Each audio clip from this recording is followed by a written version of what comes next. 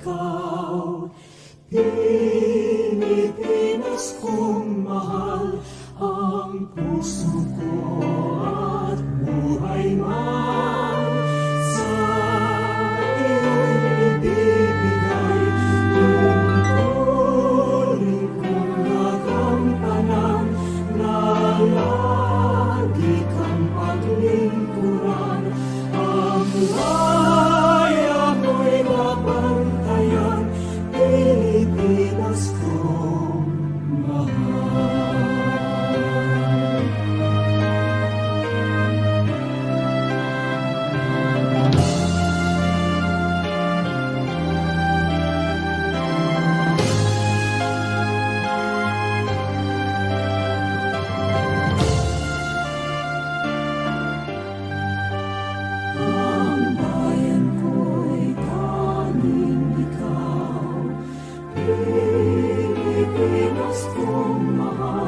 i'm so Amen.